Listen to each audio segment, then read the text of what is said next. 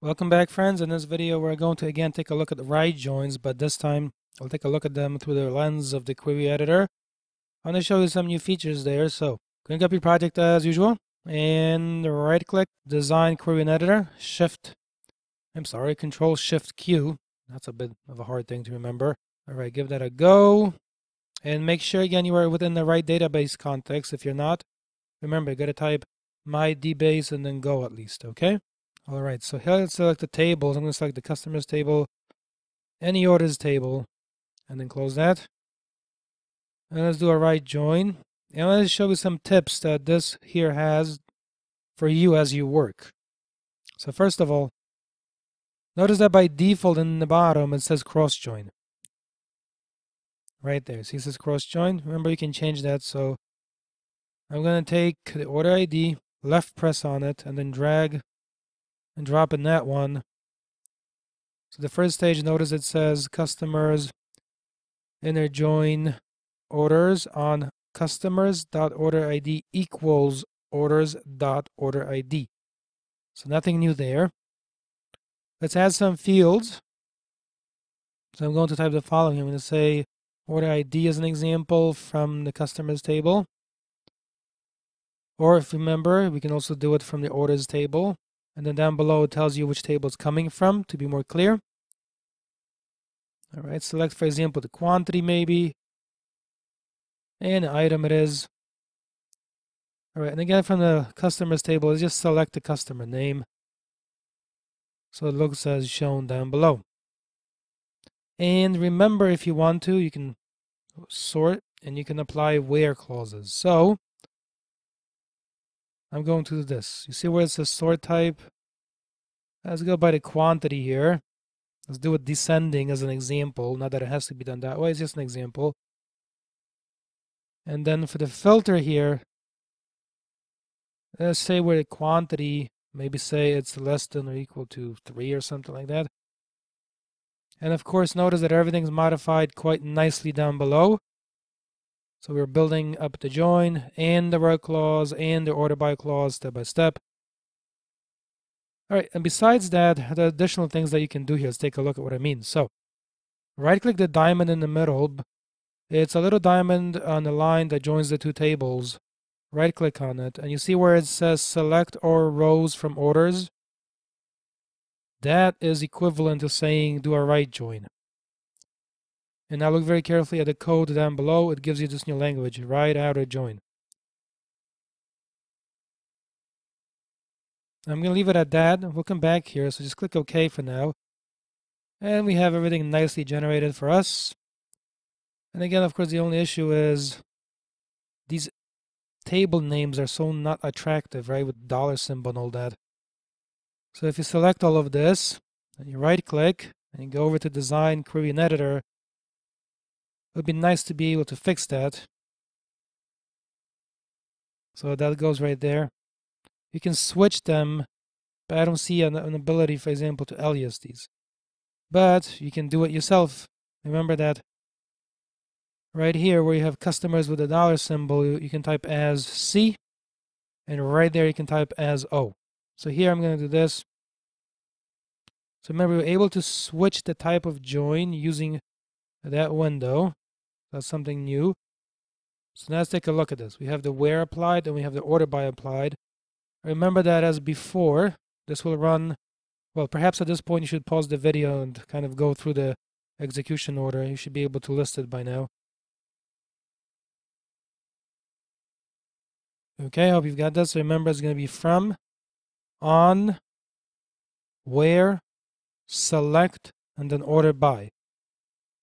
So let me just write that down the theoretical execution order from on where, select, order by, and let's give this a go. So select everything and then hit execute. And in this particular case, as you can see, it looks as shown here. Really, there are only two of these, correct? And notice that for both of these records, the quantity here is less than or equal to 3. And if you want to see the purpose is you take one of these things, you comment it out, right? You put down the little two dashes, it goes away.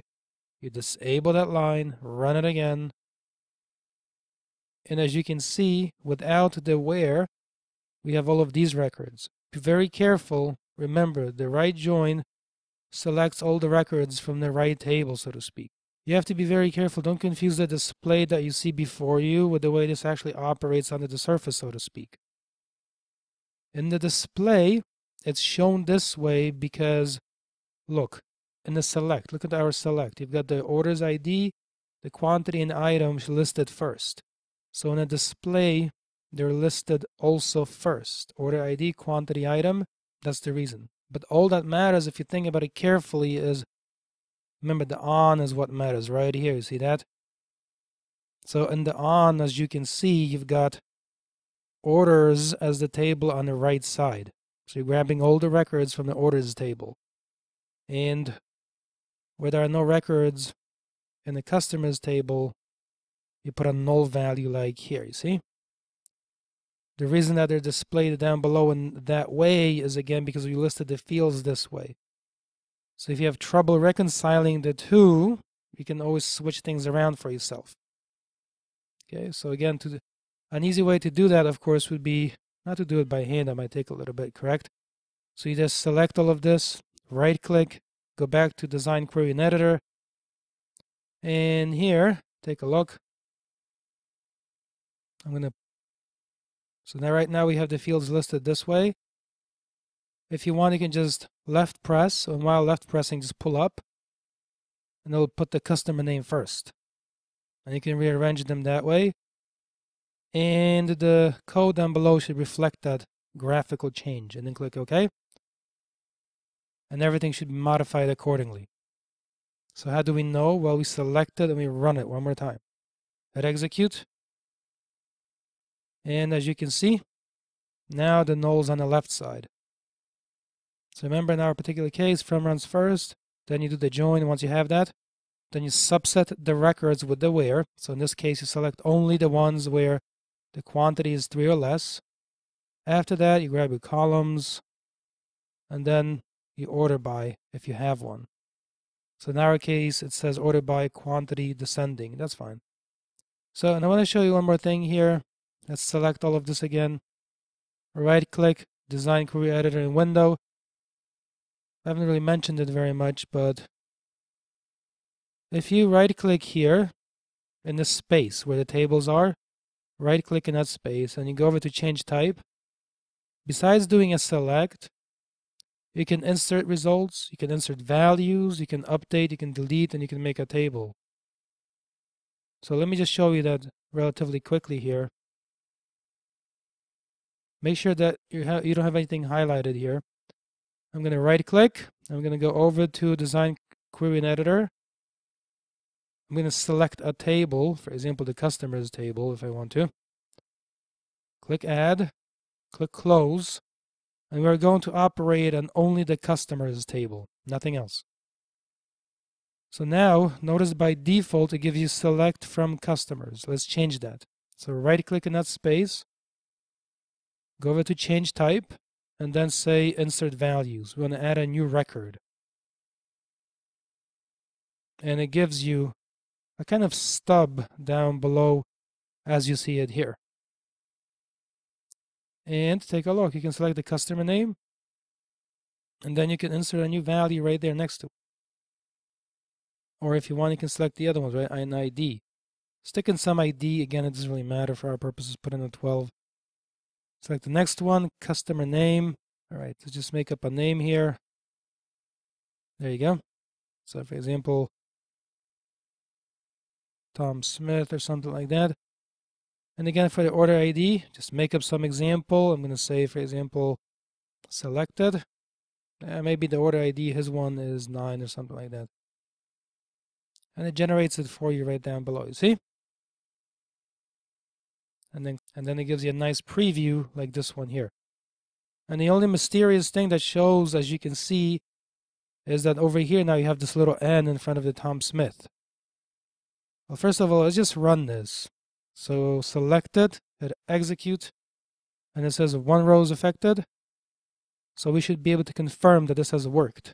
Let's take a look. So I will say select star from customers as we've done before. Hit execute and look towards the bottom. We have Tom Smith and it's fine. I'm going to leave it here. I'll put under the lesson resources something that we can go to read up on N a little bit. And I'll see you in the next video.